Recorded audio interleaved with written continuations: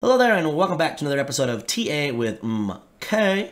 My name is McKay. We've got a bit to talk about today, so we're not going to waste any time. We want to kind of go over a few things and then let everybody get back to enjoying the beginning of their weekend. Um, we're going to talk a little bit about the price of oil and how that's somewhat, at least recently, inversely correlated with you know stocks. And we're going to talk a little bit about the Bitcoin price, um, you know, kind of the pullback that we saw coming, at least from a statistical standpoint, a few days ago that we spoke about. And then we're going to give an update on the Binance short position that I opened up a few days ago as well that I spoke about in the video, which is the BNB token. And if all of that sounds interesting to you, please remember to like and subscribe, and let's go. It's TA with. It's TA with MK. All right, so real quick before we move on to the Bitcoin price, price of oil, you know, and a few other things, I just want to quickly give an update on the SPX as it just closed about uh, 10, 15 minutes ago my time here in the US. And this is just a chart that I, I mentioned a few of these things in my video two days ago, but this is a chart I posted yesterday in my group. This is before the pullback actually began, but I was just kind of building what I would call a bearish case, you know, reasons to believe that the SPX or S&P 500 was maybe a little tired, was likely to struggle breaking through its resistance that it was at, and you know, uh, by association, Bitcoin, of course, would then not by association, but because it's so highly correlated, then you know, Bitcoin was going to likely pull back as well. But I was using this to kind of front run the ideas of Bitcoin pulling back. And these were the seven reasons that I posted on my chart. I'm gonna read them to you real quick.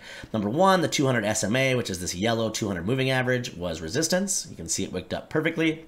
Number two, you had this potential trend line of resistance. You know, this is kind of my channels I have drawn that are, you know, I guess, um, like this large falling wedge. You had one touch up here, one touch here. It didn't quite reach up to there, but you know, you had that just overhead.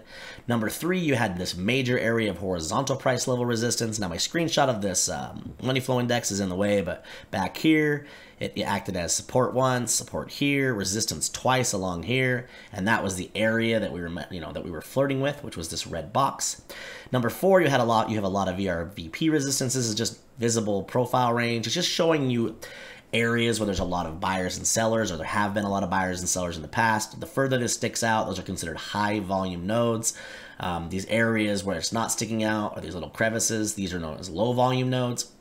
And so anytime you're approaching on these major time frames, these higher volume nodes, it just shows you there's a lot of buyers and sellers in that area there was previously. And since, you know, it's resistance at this case, then that just means there's probably going to be a lot of sellers. Now this wasn't, didn't stick out quite as far as back down here when we had to break through the 4100-ish area. But, you know, everything just gets, you know, bigger as you go up, basically, than we what we've tackled so far. And so that was number four. Number five is the Stoch RSI. This is the stochastic, was in the overextended or overbought, as they say, area was starting to turn down. The money flow index, which is another indicator I use, uh, was also reaching the overbought or overextended areas, starting to turn down, and the MACD was overextended and losing positive momentum. So you have these seven different reasons coming together to suggest at least somewhat of a short-term pullback. We won't know if that's going to turn into a mid or longer-term pullback until we kind of see how the market reacts when it reopens on Monday. But I just want to give that quick update as to kind of why or what my thinking was going into yesterday, even before Bitcoin started to pull back. All right, and then just a quick update on the Bitcoin daily chart. This is another one that I posted in my Telegram group yesterday, and I was just telling them about some fib confluence that I had found as far as this major swing high with about 48k down to our low, and then the swing within the swing, which was about 32.5 down to the low. And I came up with these two different sets of fib levels based on each individual swing. And more or less where we had got rejected four days in a row and ultimately started to roll over was the 0.5 fib level, which is a very common one for the swing within the swing, which was just this swing high here down to this low, right? That swing. And then the fibs on the right here, which the 236 was where it was being rejected, is the swing up here, clear down to here, right? That's how I came up with both of these sets of fibs. Um, it's very common, you know, for stocks to bounce or be rejected at fibs. Uh, if price action is going up, you know, you use the fib tool to, to figure out what's an area if it starts to retrace might be where you see a bounce. So a lot of times the 0.5, which is 50% of the move, is a, is a common area to see that type of a bounce. You know, goes up a certain amount and then retraces half of that move, right? Well, same thing happens when it's going down. Sometimes you get the little pumps back up, and those will end up being, you know, 50%. So in this case, this swing high down to this low, or just this price action swing, This was the 0.5 fib level for that swing, and for this larger one, it was the 236. And those both came together, acting as resistance.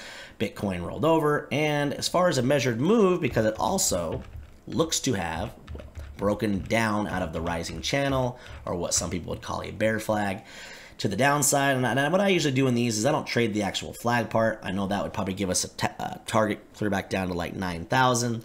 Could that happen over time? For sure it could, but I don't expect that, even if it does happen, to not happen without some you know pretty significant bounces along the way. So we won't even entertain that idea just yet.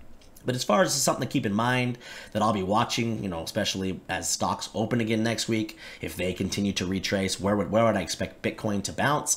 The conservative measured move is around 19,600, and the aggressive or lower target, should it push a little bit lower, would be about 18,005 or 600. So keep those levels in mind.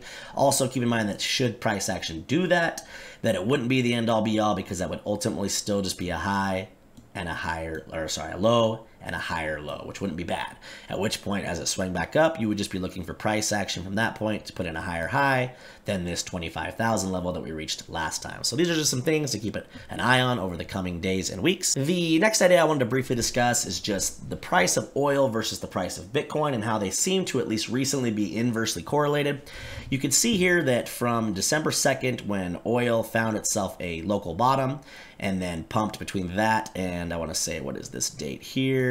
Uh, March 9th. If you go look at that same time frame for Bitcoin, that was this pullback from around 60K clear down to, you know, around uh, 32K.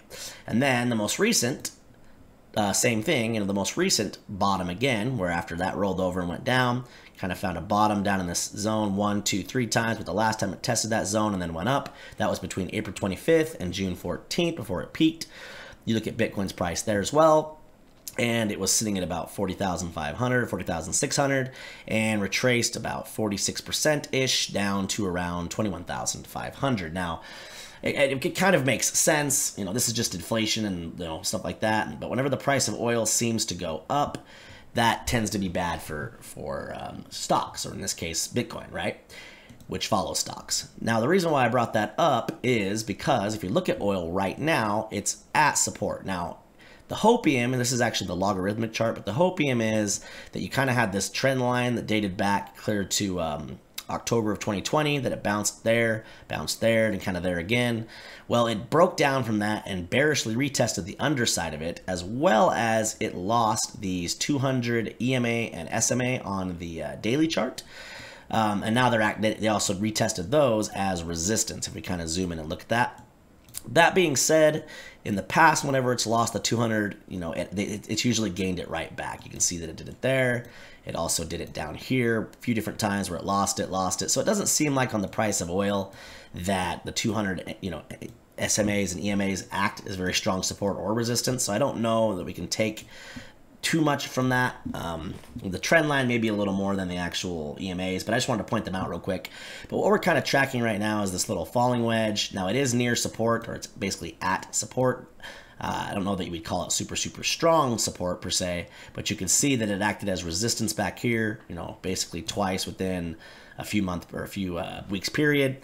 And then it broke back above and kind of retested this zone as support before pushing higher to, you know, to the, to the recent high from back in early March. And we're at that zone again, or that area, right? So just something to keep an eye on because in general, at least for the last couple of times that oil has had a, a run to the upside, that has been bad for, you know, stocks and, or, and Bitcoin especially. So we'll keep an eye on that. If this were to break out of this wedge and flip this area right back here that was support, support, as support again, I would imagine we'll see a much deeper retrace out of stocks and Bitcoin as this trends higher. And we'll just have to keep an eye on it at that point to see how high it likely will go. Um, but on the, I guess the hopium side of it is maybe this breaks and loses this support and starts trending this way, and you know because they seem to be inversely correlated, that would be you know a positive, of course, for stocks and Bitcoin. So just an idea I wanted to bring up, something we'll track over the also over the next coming you know days and weeks. And then just to finish off today's video, I want to quickly talk about the BNB chart, which is the Binance. This is just a coin that I had mentioned from a few days ago that was a short um, position that I, I, actually opened a leveraged short position on KuCoin, and it was one that I was looking to possibly, you know, midterm hold if if their stocks and Bitcoin were to see a little bit of a deeper retrace that were to happen over the next week or two.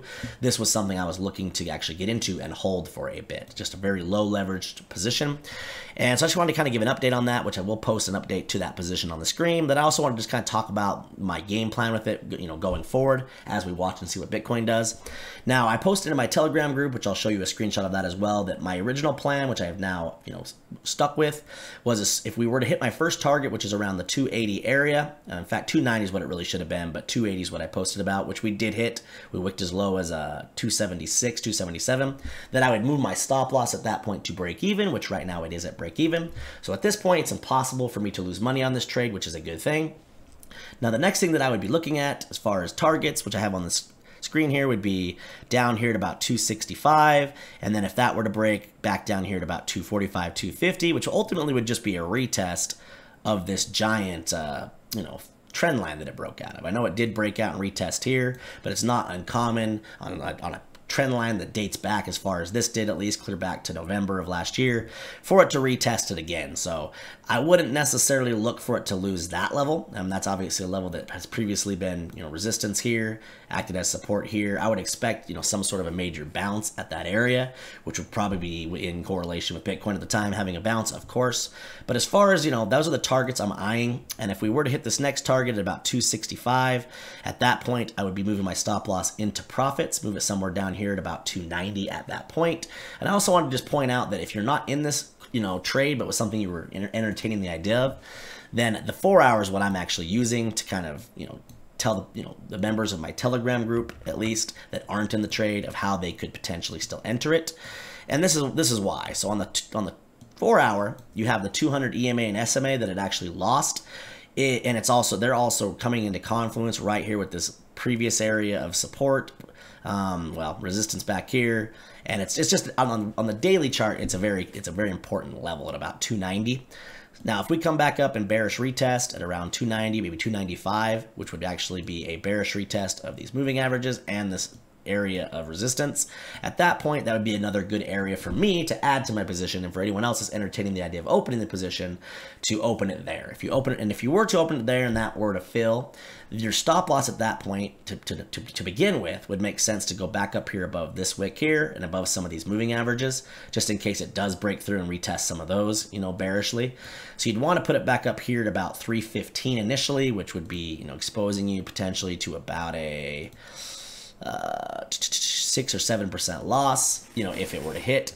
Um, if you're using leverage, depending on your, you know, the leverage amount you're using, that could be exposing you to more than that. But at any rate, just as far as if it was just a 1x, you know, short position, that's 6% potential loss to that side. But the way that I'd play that then is if that filled, as soon as you hit this area at about 265, you would move your stop loss to break even. No chance to lose money at that point.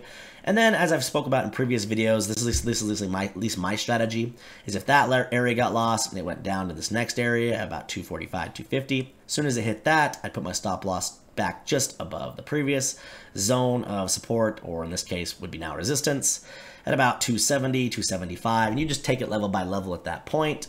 But you always want to make sure you're moving your stop loss up as you go along, just to guarantee first that you're, you know, not going to lose any money and that you're break even, and then after that, that you're locking in profits essentially, or making sure that if your stop loss is hit, it's hit in profits. So I'll keep you guys updated on Twitter as well as probably the next day or two in, in, some future videos, but that is the update on BNB. Thank you so much for sticking around to this point. I hope nobody got too wrecked over the past 24 hours with what's happened with the Bitcoin price and then obviously um, the price of altcoins. Um, and if you did get wrecked, just remember there's always a lesson to be learned in everything in life. Um, sometimes you do have to get wrecked in this case, you know, to learn a valuable lesson that can help you going forward. I know that sounds like something your grandma would say, but hey, grandma is wise. Hope everybody has a good weekend, and as always, if you're enjoying the content, please remember to like and subscribe. We'll catch you tomorrow. It's tea.